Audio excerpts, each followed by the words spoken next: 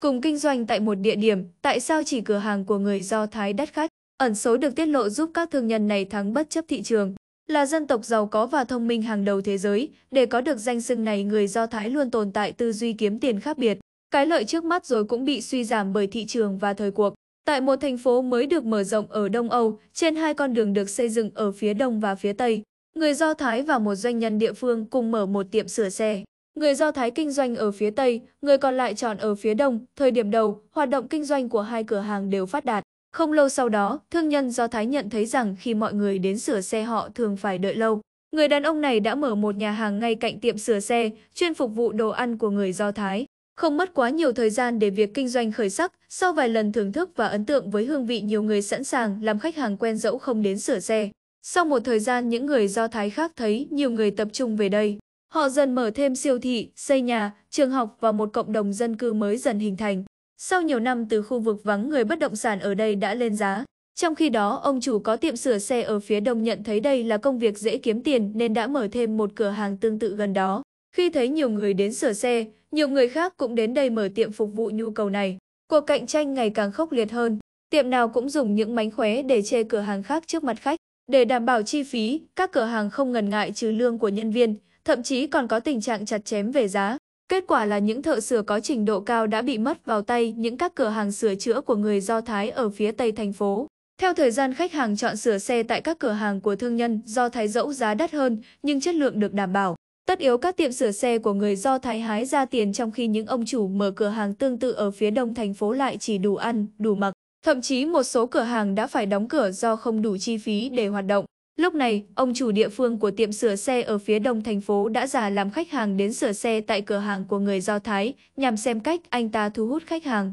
Lúc này thương nhân địa phương mới nhận ra rằng trong các cửa hàng sửa xe của người Do Thái thường có những loại máy móc tiên tiến bậc nhất được sử dụng để hỗ trợ sức người, giúp tiết kiệm thời gian và nâng cao chất lượng. Lúc này do ở phía tây thành phố đã trở thành một khu đô thị sầm uất, việc thuê mặt bằng và mở một cửa hàng khác bên cạnh cửa hàng của người Do Thái với số vốn và công nghệ tương tự có lẽ chỉ là con đường cụt. Chứng kiến điều này thương nhân địa phương cảm thấy bối rối. Bởi về sự thông minh và ý tưởng, anh ta không thua kém người Do Thái. Anh cũng dành phần lớn thời gian của mình tại cửa hàng sửa chữa.